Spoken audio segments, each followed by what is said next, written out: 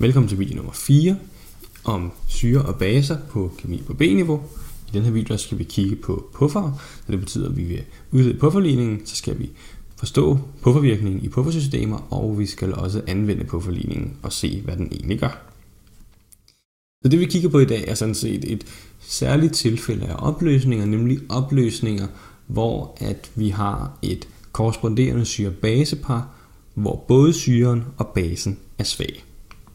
Et eksempel på det, det kunne være kulsyre. Hvis man tager det og opløser det i vand, så vil der ske en syre-base-reaktion, så vi får dannet oxonium, og vi får dannet den her hydrogenkarbonation. Det er altså en svag syre, og vi kan se, at pKS'en for syren, den er 6,4, pKb for basen er 7,6. Det betyder, at de begge to over 0, så de begge to ikke stærke. Så check so far. Man kan også se, at tager man det korresponderende syrebasepars PKS og PKB ligger sammen, så giver det 14. Det stemmer også overens med, hvad vi har lært tidligere. Og hvorfor er det her system så særligt spændende?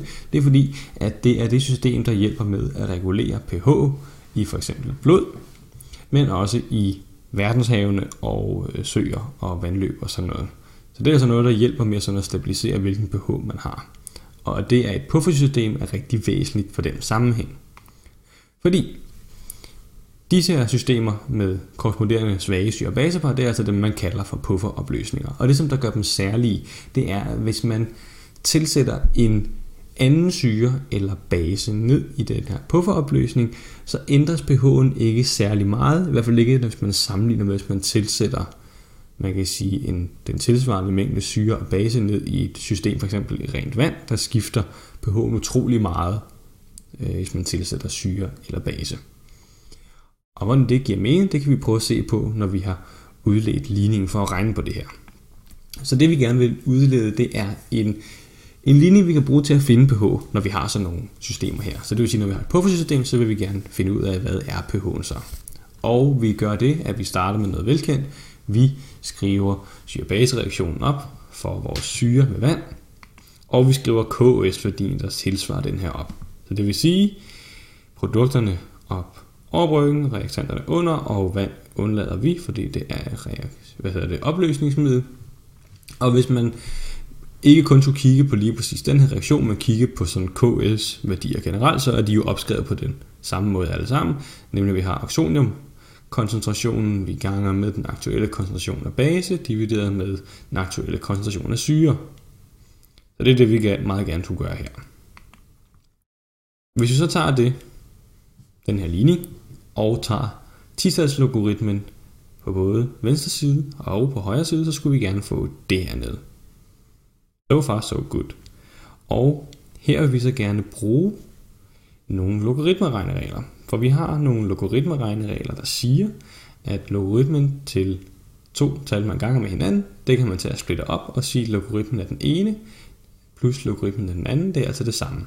Så det bruger vi på vores produkt her, hvor vi ganger de her to.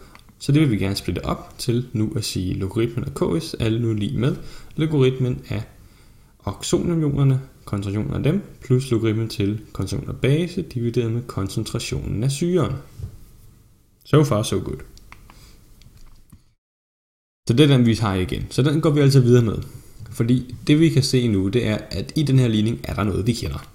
Vi ved jo nemlig allerede, at pH er defineret som minuslogaritmen til koncentrationen af oxonium, og pKs er defineret som minuslogaritmen til KS. Og her der står jo log til KS og log til oxonium. Så det betyder, at vi har, der er et minus, vi har galt, så det betyder, at her må vi altså have der til at stå minus pKs, og her må der stå minus pH. Og så har vi den her logaritme til base over syre, som vi ikke rigtig har et andet smart ord for. Men det er sådan set også meget fint, fordi pH'en var jo den, vi gerne ville kunne bestemme. Så hvis vi nu bare, man kan sige, får isoleret vores pH, hvis vi nu plusser pH på begge sider, og så plusser pKs på begge sider, så skal vi gerne få lige, der ser sådan her ud. Hvor pH er altså lige med pKs plus logaritmen til koncentrationen af basen divideret med koncentrationen af syren. Og det her det er altså pufferligning. Så med den her, der kan vi finde ud af, hvad er pH i et puffersystem, hvor det gælder, at man altså har svag syre og svag base. Og det er sådan, at hvis man nu kigger specifikt ind på den brøk her, så gælder der jo det, at man kan sige, at koncentrationen for basen og syren er jo, man kan sige, i samme opløsning. Så man kan sige, at volumen i de to opløsninger er lige store. Så hvis vi nu tager og ganger med volumen både over og under den her brøkstreg, så kan vi så får vi stofmængdeforholdet i stedet for koncentrationsforholdet. Så den her, man kan sige, måde at opskrive pufferligning på, er også okay. De virker begge to, der er ikke rigtig nogen forskel. Det er kun et spørgsmål om, om man har fået opgivet noget med stofmængde eller noget med koncentration. Så vælger man selv. Så lad os lige prøve at kigge på, hvad sker der, hvis man nu har sådan et puffersystem her. Så her har jeg opskrevet øh, vores kulsyresystem, og jeg har skrevet op her, at vi vil tilsætte noget stærk base. Så hvis vi prøver at kigge på systemet, før vi tilsætter stærk base, så har jeg skrevet her, at vi kunne have for eksempel 0,050 mol kulsyre, og så nærmest 0 mol hydroxid. Der er selvfølgelig altid noget fra hans autohydrolyse, men det ser vi lige bort fra, det er så lidt. Og så er der også en eller anden mængde, har jeg skrevet her, 0,050 mol hydrogenkarbonat. Det er jo en øh, svag base, så der er selvfølgelig en eller ligevægt, og hvis vi nu siger, at det her er ligevægten til at starte med, så er det fint. Så tilsætter vi altså noget hydroxid, 0,0 10 måler det, og når det så begynder at reagere, så sker der jo det, at man kan sige reaktionsforholdet mellem hydrogenkarbonat, eller ikke øh, kulsyre, og hydroxid, den er 1 til 1, så hver gang man altså har 0,10 0,010 mol hydroxid, så reagerer det med også 0,10 mol kulsyre, og så får vi altså dannet 0,10 mol hydrogenkarbonat. Så man kan sige, at de 10, 0,010 mol, vi har her, de blev omdannet til 0,010 mol her, og der var jo allerede 50 i forvejen, så det bliver 0,060. Og så står vi altså tilbage med 0,040, for der var jo taget 10 herfra. Eller der var taget 0,010 mol herfra. Godt, lad os så regne, hvad PKS'en er ved hjælp af pufferligningen. Vi kan se, at det er stofmængder, så vi bruger den med stofmængder i. Og hvis vi regner pH'en fra før, som er det første, vi gør her, så kan vi sige, at inden vi tilsætter noget, der kan vi se, at vi har to lige store stofmængder af syren og basen. Og når man har det, så kan man altid se, at man kan sige, så får man noget, der altid bare svarer til PKS-værdien af sin opløsning her. Og det er jo selvfølgelig fordi, hvis man tager sådan to tal og dividerer med hinanden, så giver det 1, og logaritmen til 1, det er 0. Så man kan sige, har man lige store koncentrationer af sin base og syre, så er PKS lige med pH. Så der har vi her i det første tilfælde. Hernede der har vi så fået omdannet noget, så nu har vi mere base, end vi har syre. Vi har fået de her 0,060, som vi nu deler med de her 0,040, og så kan vi se, at alt i alt får vi altså en pH-ændring på 0,2, efter at have tilsat de her 0,010 mol hydroxid. Så det er jo ikke særlig meget pH ændres, på trods af at vi har tilsat en meget stærk base til en rimelig svag syre og rimelig svag base.